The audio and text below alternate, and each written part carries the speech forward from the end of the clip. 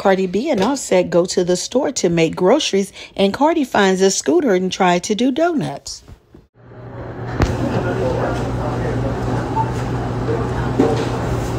Oh.